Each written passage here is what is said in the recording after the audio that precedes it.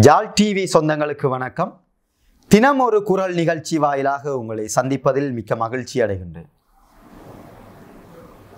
திருக்குறள் ஒரு உலக பொதுமறை. வள்ளுவன் அருளிய இந்த பொதுமறையிலே மதம் மொழி நாடு கலாச்சாரம் அனைத்தையும் கடந்து மனிதன் வாழ்வாங்கு வாழ்ந்து தெய்வங்கள் வரிசையிலே சேருவதற்கான அனைத்து விடயங்களும் அற்புதமாக கூறப்பட்டுள்ளது. அறத்தினை கடைப்பிடித்து நாம் சக மனிதர்களையும் பூமியில் வாழுகின்ற உயிர்களையும் நேசித்து தெய்வங்களுள் சேர்வதற்கான இந்த உயரிய சிந்தனைகளை தினமும் ஒவ்வொரு சிந்தனையாக உங்களுக்கு வழங்குவதற்காக உங்களோடு நாம் இணைந்திருக்கின்றோம்.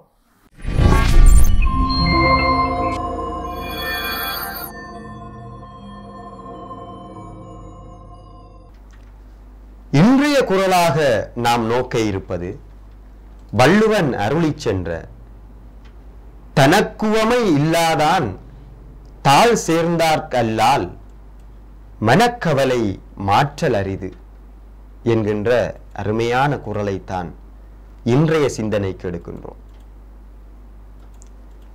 தனக்கு உவமை இல்லாதவன் என்கின்ற இந்த பதத்தின் மூலம் வள்ளுவன் கடவுளை உருவகிக்கிறார்.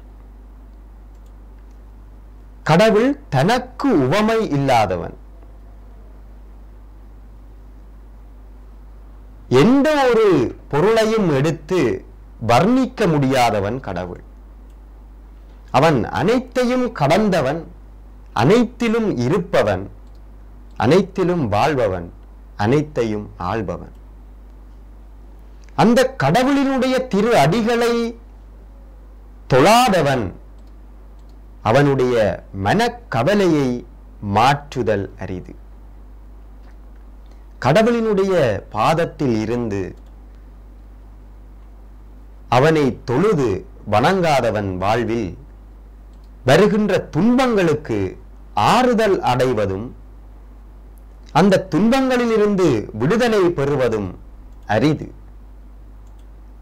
என்கின்ற இந்த படிப்பினையை வள்ளுவன் போதிக்கின்றான். ஆகவே நாம் எந்த காரியத்தை செய்ய முயன்றாலும்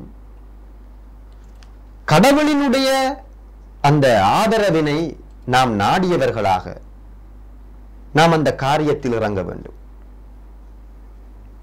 கடவுள் எனப்படுவது இங்கே வள்ளுவன் குறிப்பிடுகின்ற கடவுள் என்கின்ற அந்த பதம்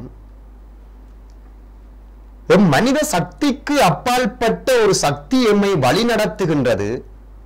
ஆகவே அந்த எல்லாவற்றையும் வழிநடத்தி பிரபஞ்சத்தை ஆளுகின்ற அந்த சக்தியினுடைய அனுக்கிரகம் எமக்கு தேவை. அந்த சக்தியைத்தான் இந்த உலகிற்கு பொதுவான கடவுள் என்று வள்ளுவன் கூற வருகின்றார். ஆகவே நாம் எந்த மதத்தவராக இருக்கலாம் இந்த உலகனைத்தையும் ஆளுகின்ற அந்த சக்தி அதை நாம் கடவுள் என்கிறோம். அந்த கடவுளினுடைய அனுக்கிரகம் எமக்கு கிடைக்க வேண்டும். அவனுடைய ஆசீரோடு நாம் தினமும் எமது காரியங்களை தொடங்க வேண்டும். அப்போது எம்முடைய காரியங்கள் பயனளிக்கும். எம்முடைய மனக்கவலைகள் நீங்கும். துன்பத்திலிருந்து எமக்கு விடுதலை கிடைக்கும் என்று வள்ளுவன் இன்றைய செய்தியாக நமக்கு கூறுகின்றார். எனவே இந்த குரலை அறிந்து கொண்டு வாழ்வில் இதை கடைப்பிடித்து அறநெறி பிசகாது வாழ உங்களை அழைத்து நிற்கின்றேன்.